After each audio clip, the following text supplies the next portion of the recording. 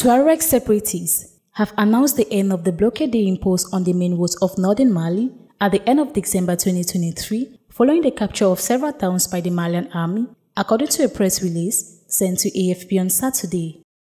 The predominantly Tuareg rebels lost control of several towns in the north in late December after a Malian army offensive that culminated in the capture of Kidal, a bastion of independence demands and a Measure 70 issue for the central state.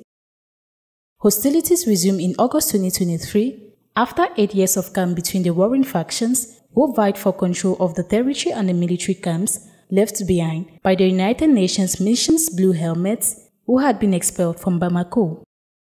The colonists who seized power by force in 2020 achieved a widely praised symbolic success in Mali, but the rebels did not lay down their arms and spread across the region, announcing a blockade on all products and all means of transport in the region already affected by jihadist violence.